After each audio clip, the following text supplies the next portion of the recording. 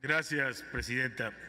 Mire, no podemos dejar el precedente de la afirmación de que las conductas fueron iguales. De ninguna manera. Lo que empezamos nosotros alegando hoy por la mañana fue la falta de decoro y de cumplimiento de los elementos esenciales para la realización de la sesión. Asentamos en todo momento que se trata de un asunto en el que estamos sustancialmente de acuerdo. Es lo más impresionante, pero acabamos de ver en las dos intervenciones de el presidente de la Junta de Coordinación Política y el presidente de la Comisión de Hacienda dos maneras distintas de ejercer la mayoría. Y es importante que como Senado tomemos nota de eso, porque una cosa es acudir a prácticas y otra cosa es creer que las prácticas pueden sustituir a la legalidad. No, no es cierto. La senadora Vanessa Rubio jamás ha quebrantado la, la legalidad. En el audio que acabamos de escuchar, en ese episodio, por más que sesgadamente se diga en estos papeles que se han distribuido infamemente, lo que esperaban era la ausencia de cinco senadores y llegaron seis y no se realizó hasta que llegaron.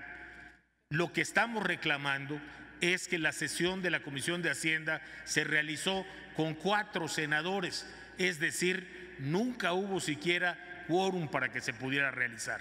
Son dos conductas completamente diferentes.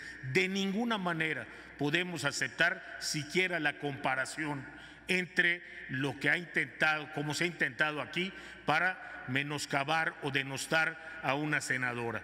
No solamente no lo aceptamos, me parece que no debemos permitirlo, Presidenta. Y ese recurso que hemos escuchado muchas veces de así se ha hecho siempre, es momento que la mesa directiva y la Junta lo tomen en sus manos y lo evitemos.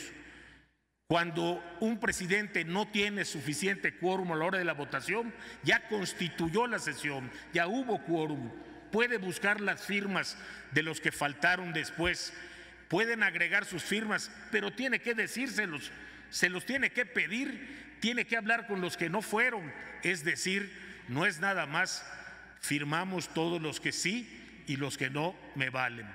De eso se trata esta discusión y la razón de, la que la, de que la senadora Rubio aparezca en el escenario es que desde un principio advirtió y le advirtió a la comisión que no era correcto lo que se estaba haciendo. Simplemente no lo aceptamos.